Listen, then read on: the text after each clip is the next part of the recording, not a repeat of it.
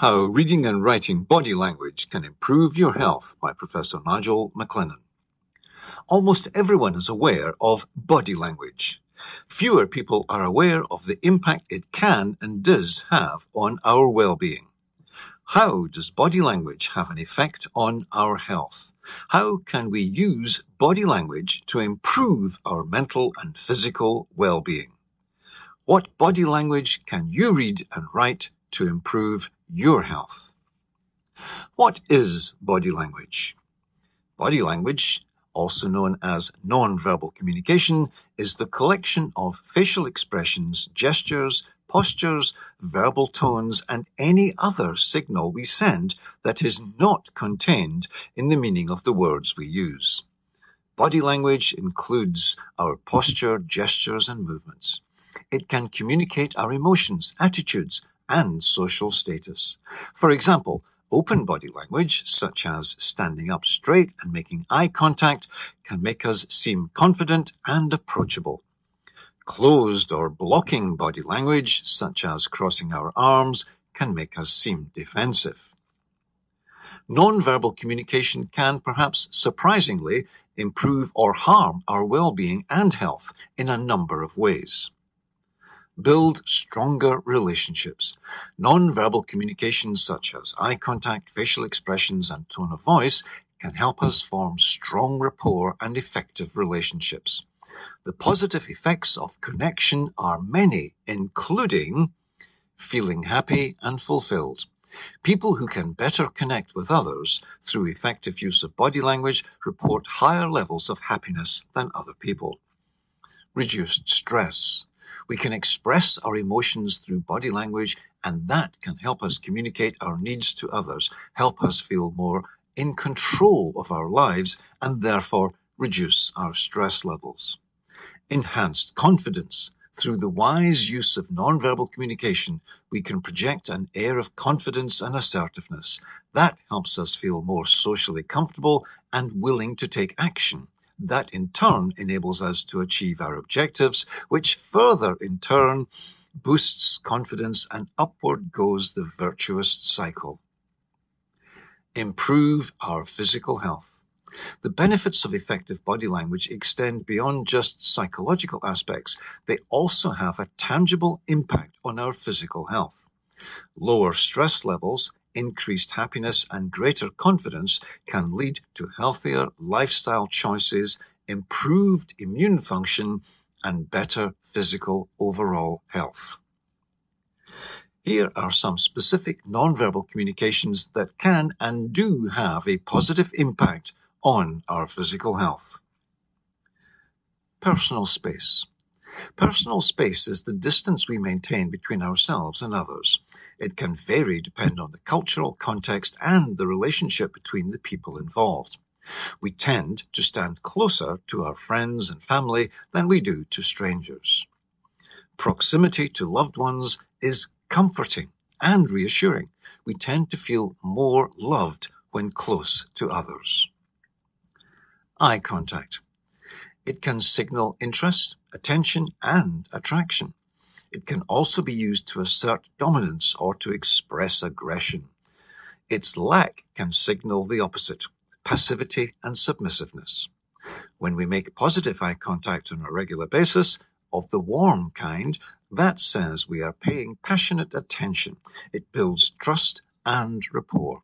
That in turn has a positive effect on our cardiovascular health. It reduces the harmful stress hormones that are so strongly involved in cardiac damage. Facial expressions. Facial expressions are one of the most important forms of nonverbal communication. They can convey a wide range of emotions such as happiness, sadness, anger, fear, and surprise. When our facial expressions match our other body language, people tend to feel that they understand us and are more relaxed in our presence. That has positive knock-on effects on our well-being through the feedback that we receive. Smiling. One facial expression deserves special treatment. Smiling. When we smile meaningfully, our stress levels are reduced and we become more attractive to others, which means we receive social interest and approval. The overall effect is that our immune system is boosted. Tone of voice. The tone of voice that we use can also convey a lot of information about our emotions. By using a warm and friendly tone of voice, we can make ourselves seem more approachable and trustworthy. That, in turn, can lead to better relationships and a greater sense of self worth. Avoiding body language induced harm. At the opposite end of the scale, people who write body language that others feel uncomfortable reading are more likely to be rejected, lonely, and isolated, with all the negative well-being consequences that usually follow. Here are some specific examples of how poor nonverbal communication can harm well-being and health. Damaged relationships. When people send negative messages to others through their body language, they can damage relationships or prevent rapport from being formed. Increased stress. Problematic nonverbal communication can also lead to increased stress levels. Constantly fidgeting or looking away, for example, can lead others to infer that a person is anxious or uncomfortable. The discomfort that others feel has a closed feedback effect, which further increases the discomfort of the person giving off the anxious signals. Reduced self-esteem. When people feel that they are not communicating effectively, that can induce feelings of insecurity and inadequacy, which further reduce their self-esteem. That internally manifests as negative thoughts and feelings about themselves. Problematic eye contact. Absent, evasive, or avoidant eye contact is usually read as the person being uninterested or unapproachable making it difficult or even impossible for such a person to build and maintain strong relationships. Crossing our arms. Crossing our arms can signal that we are obstructive or defensive, making it difficult to build trust and rapport with others, which can also lead to social isolation and loneliness. Fidgeting. Fidgeting is widely interpreted as an announcement that we are anxious or uncomfortable other people reacting to our perceived anxiety can make us feel more stressed and make it difficult to relax and enjoy ourselves. If prolonged to the point where our body language causes long-term stress, that can lead to a variety of health problems, including headaches, stomach aches, high blood pressure, heart disease, and stroke. Speaking too loudly or too softly. Speaking too loudly or too softly can declare that we are insecure or lacking in confidence, which in turn negatively impacts credibility. Not being taken seriously can lead to feelings of inadequacy, elevated stress levels, and the variety of health problems mentioned above. Using a harsh or cold tone of voice. Using a harsh or cold tone of voice can make us seem unfriendly or unapproachable. This can make it difficult to build and maintain strong relationships, which can lead to social isolation and loneliness. Improving nonverbal communication. By being aware of our nonverbal communication and making an effort to improve it, we can protect our well-being and health. Here are some suggestions for improving nonverbal communication. Be aware of your body language. Make sure that your body language is open and inviting. Stand up straight, make eye contact, and smile. Use a warm and friendly tone of voice. Avoid using a harsh or cold tone of voice. Be aware of your facial expressions.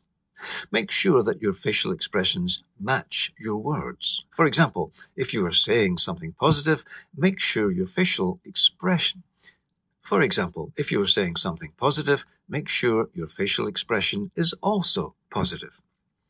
Be genuine. People can tell when we are being fake, so it is important to be genuine in your nonverbal communication. Decoding cultural differences in nonverbal communication. Body language can be difficult, even impossible to decode, especially in the absence of contextual information. That difficulty is compounded when dealing with cultural variations in body language meaning. Here is a list of 10 common cultural differences in nonverbal communication. Eye contact. In some parts of the world, such as the UK and the US and Europe, eye contact is seen as a sign of confidence and respect. In others, such as Japan, prolonged eye contact can be seen as rude or disrespectful. Personal space. The amount of personal space that people maintain varies depending on society. In Western cities, people tend to stand closer together when talking. In India, people maintain more personal space. Gestures. The thumbs up gesture is generally seen as a positive sign in the UK and the US, but is considered offensive in some other societies. Facial expressions. Smiling is generally seen as a positive expression in most cultures, but it can also be seen as a sign of nervousness or submission in other cultures. Arm crossing. Crossing your arms is widely perceived as a closed off or defensive posture in most parts of the world, but it is considered a respectful posture in some Middle Eastern cultures. Head movements. Nodding your head up and down is mainly thought of as a sign of agreement in most societies, but is seen as a sign of disagreement in some cultures. Touch. In some regions of the world, such as France, people are more comfortable touching each other when they talk. In others, for instance Japan, touching is generally seen as taboo. Greeting customs. In the UK, it is common to shake hands when meeting someone. In Japan, it is common to bow when meeting someone. Punctuality. Punctuality can also be a form of nonverbal communication. In some countries, such as Germany, punctuality is highly valued. In others, such as Mexico, punctuality is less important. Silence. Silence can also have different meanings to different peoples. In the UK and US, silence can be seen as uncomfortable or awkward. To the people in Japan, silence is seen as a sign of respect. Appearance. Appearance can also be a form of nonverbal communication. In some areas, for example the UK, it is important to dress professionally for business meetings. In India, it is more important to dress modestly. Breaching cultural body language norms can lead to social embarrassment and even ostracization. With such huge variation in norms, when it comes to understanding body language, the complexity seems to compound the more we look at it. Theories to explain body language. What explains human body language? Here are some theories. Evolutionary theory suggests that our nonverbal communication has been inherited from our animal ancestors. Social learning theory claims that we learn nonverbal communication through social observation and imitation. Cognitive appraisal theory proposes that our nonverbal communication is influenced, even controlled, by our thoughts and feelings. Communication accommodation theory posits that we adjust our nonverbal communication depending on the context of the situation.